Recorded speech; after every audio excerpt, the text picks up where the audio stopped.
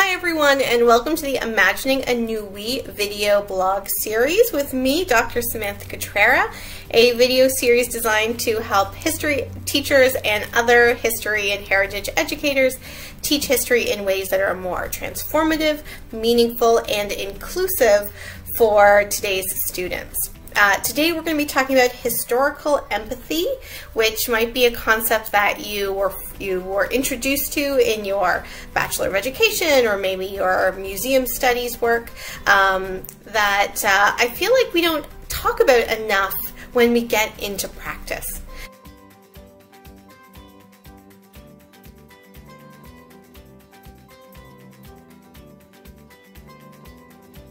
If you're a fan of The Crown on Netflix, you are particularly going to like this short video because I'm going to use a, a Princess Margaret themed example to help me illustrate the importance of historical empathy, which I'm really excited about. And I tried to, to channel her today with a bold red lip and some pearls. I, I have a feeling she would disapprove, but um, I have a feeling she disapproves about a lot of things.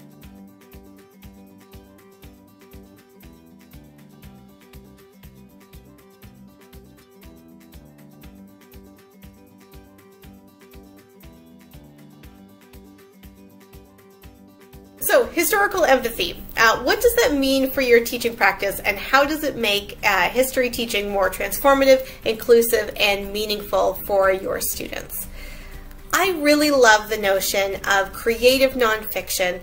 I love stories, I love narratives, I love being drawn into a particular um, a world. And I feel like history can do that. And we can often get so bogged down in teaching about like facts on a timeline and important names and dates that we don't allow ourselves or our students to be able to imagine with these histories and imagine in a way that uh, allows them to see different ways into interpreting or feeling the past not just from our president's point, presentist point of view, but also from the point of view of our experiences, our emotions, and our uh, interpretations of the world around us. This is such an important element of students feeling like they are part of learning history, that they feel that there is a connection to the histories that they are learning, that the histories that they are learning are complex, and that teachers care about them enough to, to foreground these connections and complexities in their class.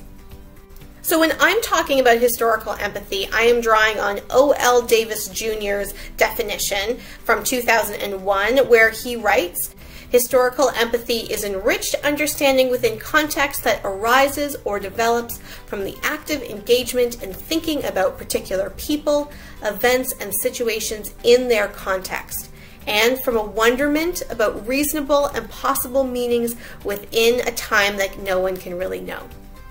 It is robust, tough, and insightful, even as it is imaginative, and it is always based on available evidence. So there's a couple elements of this definition that I want to really highlight. One is this word wonderment. When's the last time that you learned something or taught something that was based on wonderment? This is such an, an exciting idea that we're allowing students to be able to in into the histories, to be able to wonder about the histories, to be able to think about, and again, looking at that definition,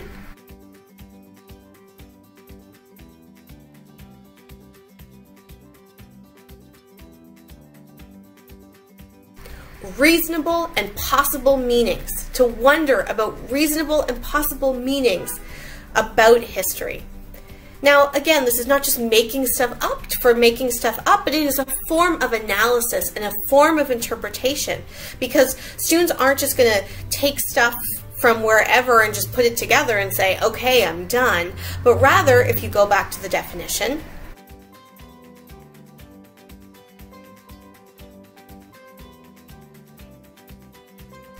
It is always based on available evidence.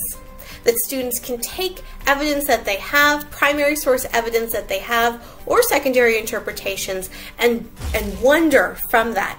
Be able to wonder and explore from that. Now, I've worked with a lot of students that said that they actually like a lot of these historical empathy type things in their class, even when they resist them at first.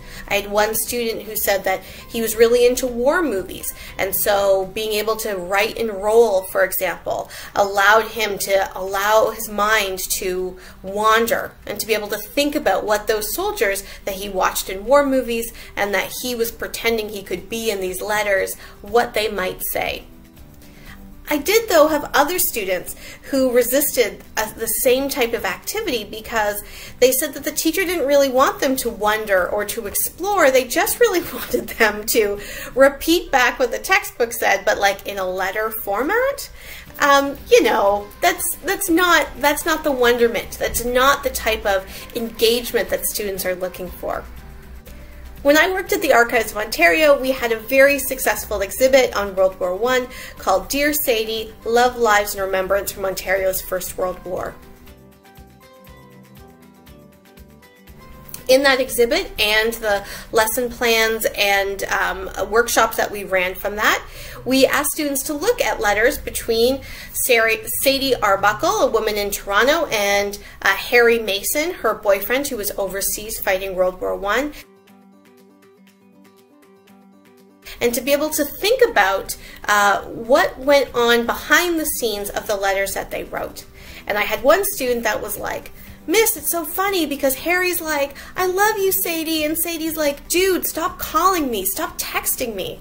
And I mean, of course, he's wrong. Harry was not calling and texting Sadie, but it was this wonderment of what this situation might look like for his own life that allowed him to make these meaningful connections in ways that perhaps made the learning of World War I a little bit more transformative for him.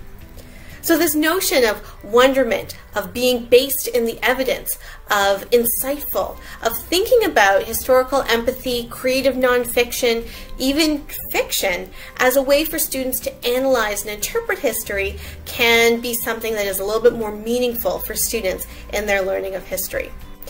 Now, if you are a fan of The Crown, you might like this example. I, um, when I first started watching season one and two of The Crown, um, I looked up Princess Margaret, as we all did, because of that that wonderful portrayal of Princess Margaret.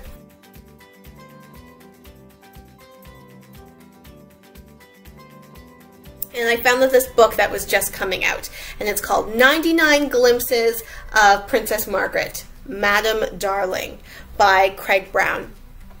What Craig Brown did, there we go, can we see it? A little less glare. What Craig Brown did was he took bits and pieces of a whole bunch of different news articles written about Princess Margaret during the time.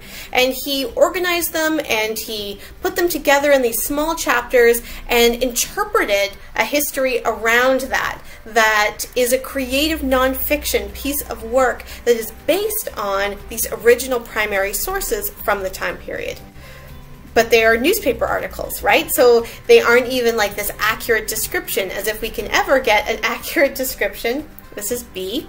If uh, you've seen other videos, you know she has a sister, Betty, who also likes to jump on the desk.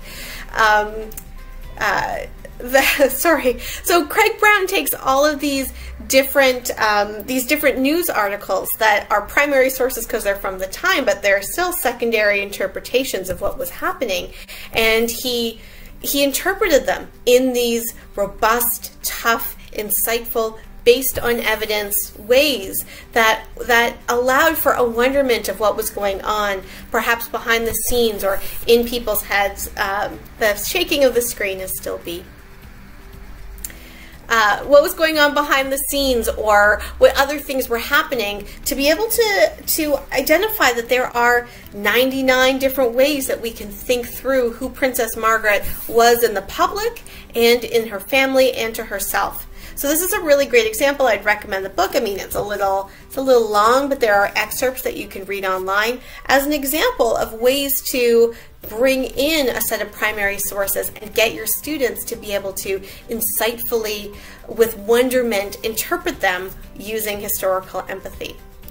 And so that's our little video for today. Talk, students talking about historical empathy can be found in my new book, Transforming the Canadian History Classroom, Imagining a New We, that sadly doesn't have any Princess Margaret or any other drunken royals uh, in it, but but uh, I'm sure you'll forgive me for that.